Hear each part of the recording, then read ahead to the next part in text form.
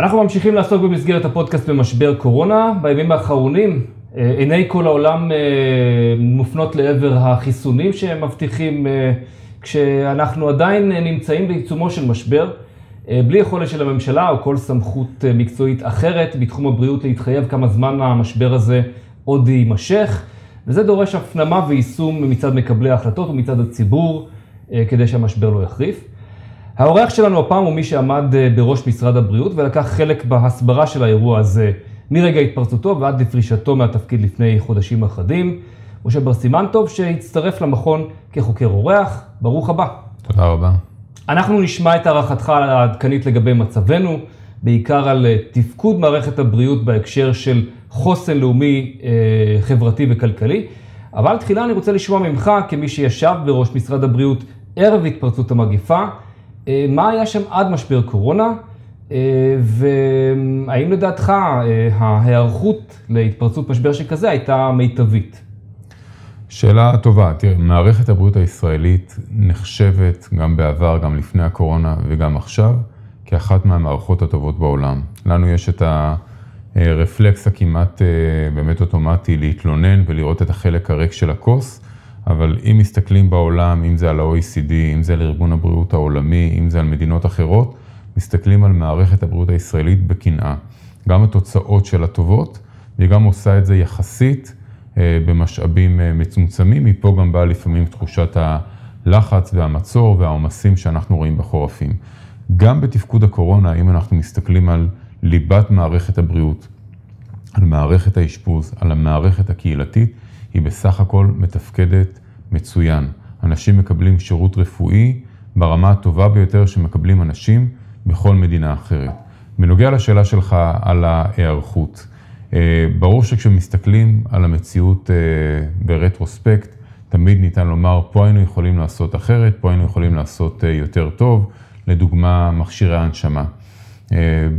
בגל הראשון היינו בטוחים שהיינו צריכים לדאוג לרזרבות מאוד גדולות של מכשירי הנשמה מראש, ואולי גם לציוד מגן וכולי. עכשיו בגל השני, למרות שהתחלואה הייתה בהיקפים הרבה הרבה יותר גדולים, השאלה הזאת הפכה ללא רלוונטית.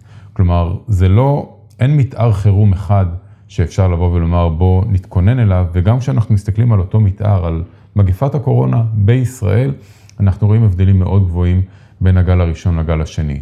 מה כן למדנו?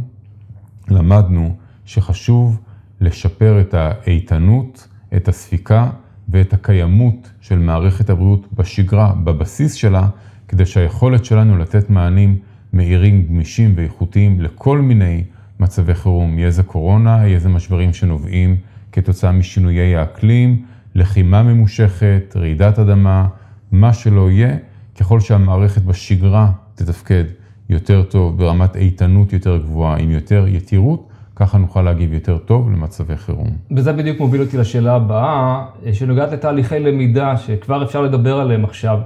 אה, שעשתה המערכת, מערכת הבריאות, אה, אפשר לדבר גם בצורה רחבה יותר על מדינת ישראל, כשמתמודדים עם משבר כזה, מה התובנות שלך בעניין הזה?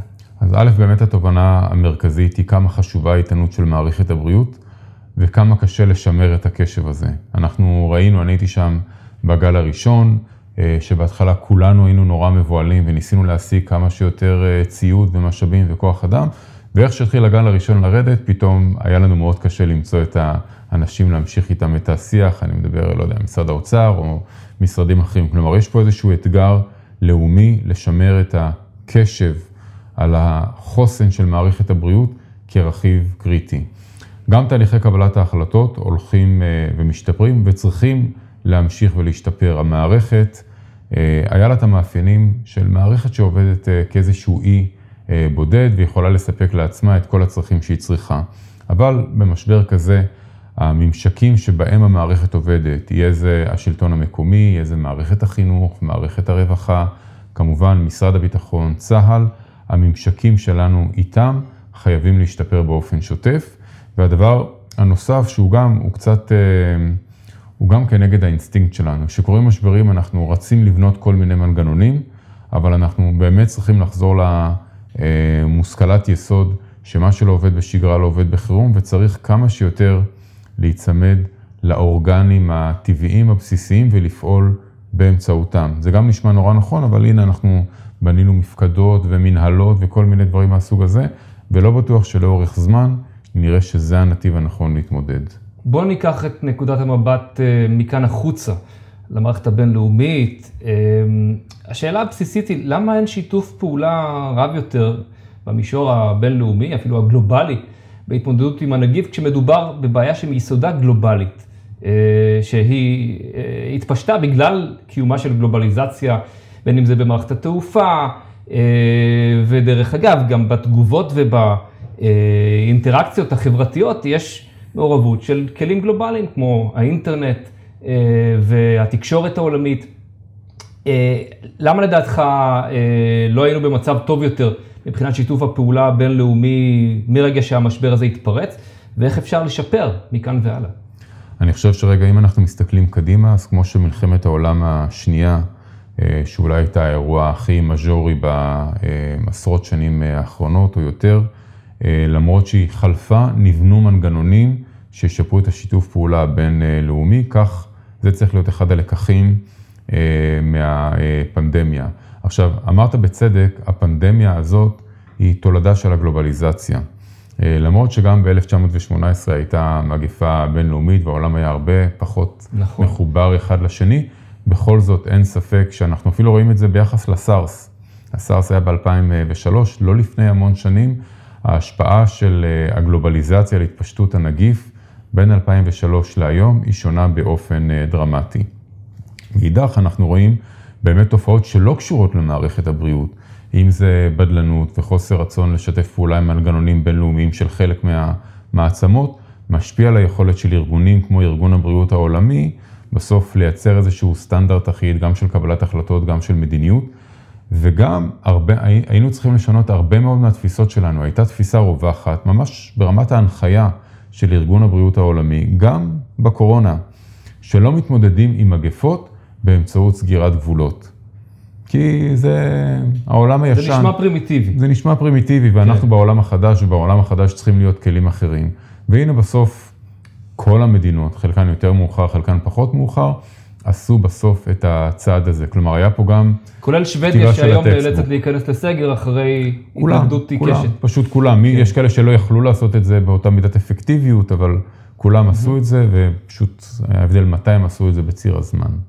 אז זה מחייב שינוי בחשיבה, קודם כל. אבל אני רוצה לשאול אותך גם יותר אני, מזה. אבל, אני אבל כן, כן אוסיף ואומר שכן נוצרו, כן נוצרו פה כל מיני מנגנונים אה, עוקפים של אה, למידה ותיאום בינלאומי. או, אז, אז אני רוצה באמת okay. אה, אוקיי. להרחיב בנושא הזה. אמ, יש לנו היום איזה, בוא נגיד, אה, יתרון, אה, גם מבחינה טכנולוגית וגם מבחינת הדרך שבה כל הממשקים שאמורים לשתף פעולה עובדים זה עם זה, שאפשר לומר שישראל מובילה, נמצאת בחזית של המאבק נגד המגפה, ויש מה ללמוד ממנה על סמך כל החודשים האחרונים.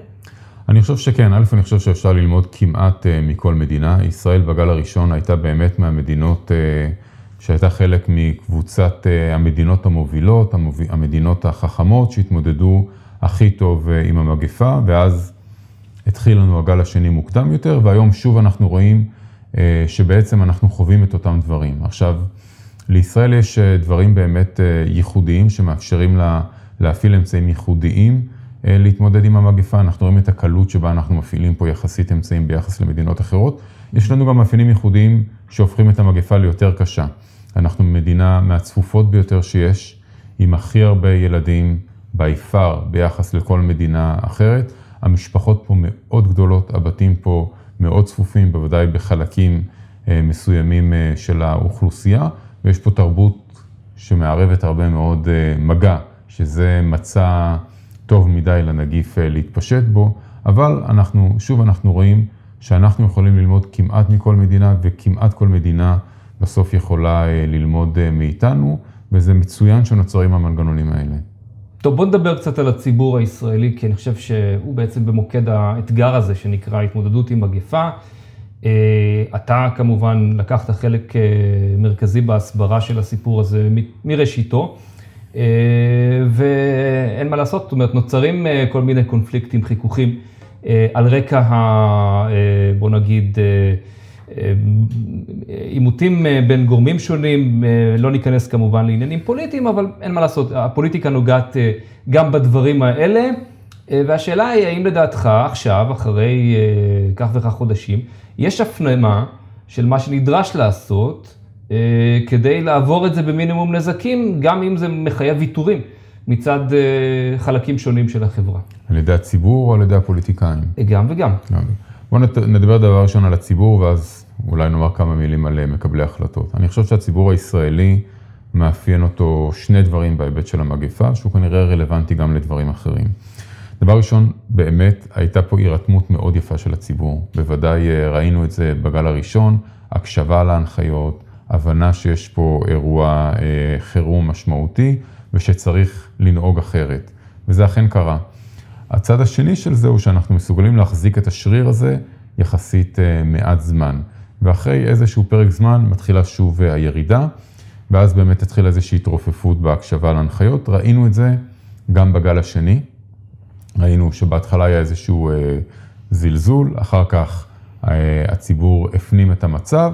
ואז עוד פעם יש התרופפות, ואני מקווה שאנחנו לא רואים עכשיו את, אה, אה, את, אה, את זה קורה לנו באמצעות גל שלישי. אני חושב שכן, אני אוהב לדבר על שינויים תרבותיים, אבל אני חושב שכן אנחנו צריכים, אנחנו לא רגילים להתמודד עם אירועים כל כך ארוכים, בכלל, לא מדינות אחרות ולא ישראל, אנחנו מדברים על ישראל. זה אירוע ארוך, גם אם כל החדשות הטובות שקורות עם החיסונים והן חדשות מצוינות יתממשו, זה אירוע ארוך שדורש מאיתנו כחברה דברים אחרים, והוא מחלחל גם לקבלת uh, ההחלטות, uh, שלצערי אני רואה שאנחנו כן חוזרים על אותן uh, טעויות. הנה אמרנו שאם נראה שמקדם ההדבקה עולה, נעצור את המשך ההקלות או ננקוט באיזשהו צעדים, אנחנו לא עושים את זה. אנחנו רואים את מקדם ההדבקה עולה ואנחנו רואים את הקושי לקבל החלטות קשות. אני מקווה שהפעם זה בכל זאת יהיה שונה. ולא נגיע למצב שבו נראה התפשטות מאוד נרחבת של המחלה, כי עכשיו אנחנו כבר בחורף. אז קצת תצפית על העתיד, ככל שכמובן אפשר לעשות את זה כרגע, ונשלב בדיון גם את עניין החיסונים שהרגע הזכרת. אמ, בוא נלך דווקא על האפשרות הפחות חיובית מבחינתנו. מה יהיו המשמעויות אם המגפה לא תחלוף בתאריך היעד שכרגע מסתמן 20, אביב 2021, אה, והחיסון לא יהיה יעיל כמו שמבטיחים לנו כרגע? האם ישראל ערוכה להתמודדות אפקטיבית עם רצף של מספר שנים של אה, התמודדות עם הנגיף? אני חושב שיש דבר אחד מרכזי שאנחנו צריכים לטפל בו כדי להיות ערוכים להתמודדות מיטבית. הדבר הכי חשוב בעיניי הוא מערכת החינוך. ילדים הם אמנם חוטפים את המחלה כשהם נדבקים בצורה קלה, יש אה, אפיזודות אחרות של ילדים שלקחו את המחלה קשה, ילדים חוטפים את המחלה בצורה קלה, אבל ילדים הם מה שנקרא וקטור הדבקה. הם מדביקים אנשים אחרים, ובסוף אנחנו רואים את ההשפעה המאוד מהותית של החינוך על ההתפשטות של התחלואה בארץ. ואם יש משהו שעליו צריך לשים את הקשב הציבורי, זה מערכת החינוך. לראות איך באמת אנחנו לומדים בקבוצות קטנות ונבדלות אחת מהשנייה, ועושים את זה לאורך זמן. כי שוב, גם אם מחר הקורונה תחלוף לחלוטין, אני חושב שזה דבר שאנחנו צריכים לעשות לא בשביל מערכת החינוך, אלא בשביל מערכת הבריאות. כי בסוף, כמו הקורונה, יכול לבוא וירוס אחר.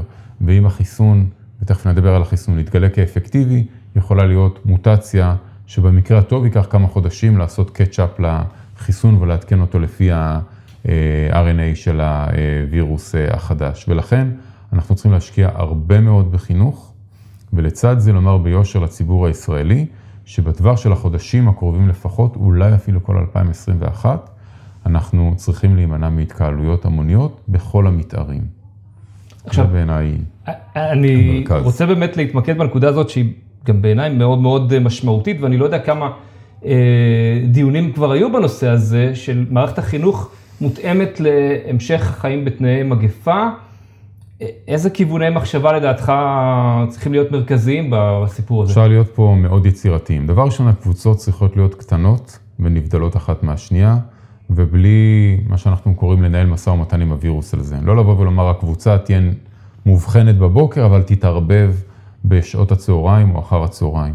להקפיד על ההפרדה בין הקבוצות בלימודים, אה, במגמות, בשעת האוכל, בהפסקה, בצהרונים, בחוגים, בהסעות, בכל אחד מהמתארים.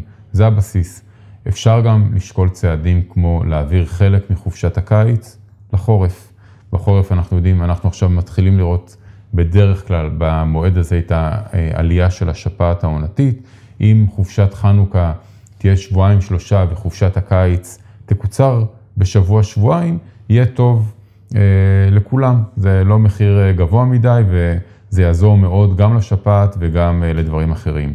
אפשר לחשוב על ללמוד לא כל הימים פיזית בבית הספר, אלא יומיים, שלושה, ארבעה בבית הספר, ויום, יומיים, שלושה בבית. אפשר ללמוד גם בשעות אחר הצהריים.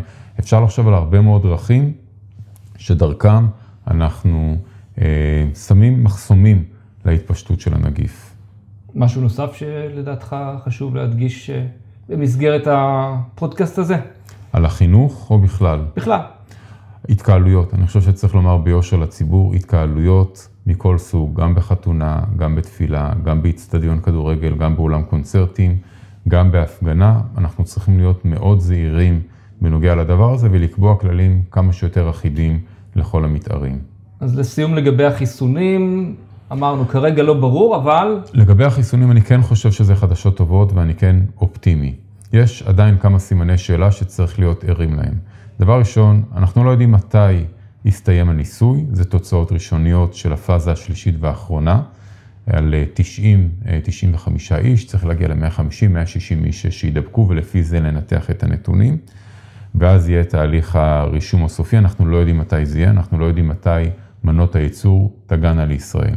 בהנחה שהתרחיש האופטימי יתממש והדברים יקרו יחסית מהר, ונצליח לחסן את האוכלוסייה, שזה גם מבצע לוגיסטי מורכב, עדיין יהיו שאלות פתוחות. השאלה הראשונה תהיה, האם החיסון הוא מונע הדבקה והידבקות, או שהוא רק הופך את המחלה לאסימפטומטית? אנחנו לא יודעים את זה היום. אין לנו מחקר שאומר לנו את הדבר הזה בוודאות. כלומר, יכול להיות שמה שאנחנו רואים בתגובה החיסונית של אנשים, זה שהם פשוט עוברים את המחלה בצורה אסימפטומטית, שזה טוב מאוד, אבל זה אסטרטגיה אחרת, כי הם אולי בכל זאת מדביקים. השאלה השנייה שאנחנו לא יודעים היא כמה זמן התגובה החיסונית נמשכת. האם היא נמשכת חודשיים, שלושה, ארבעה, חצי שנה, שנה, כל החיים. והדבר השלישי שדיברנו עליו זה שיכולה להיות מוטציה בנגיף. הנגיף הזה כבר עבר מוטציה לפחות שלוש פעמים, והוא יכול לעבור מוטציה עוד כמה פעמים.